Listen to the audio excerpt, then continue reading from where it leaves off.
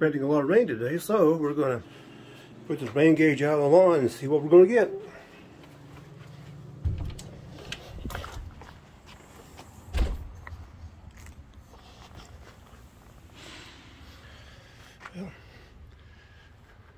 partly cloudy, but we'll see. The weatherman's predicting it. So, check later and see what happens. Yeah, clouds are getting darker and more thunder. Yeah. So it looks rain is surely imminent. Yeah, raining and thundering. Coming out well.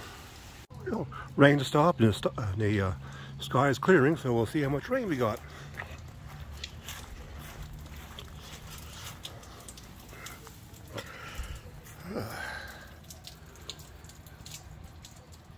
Not much, I can't start to see it.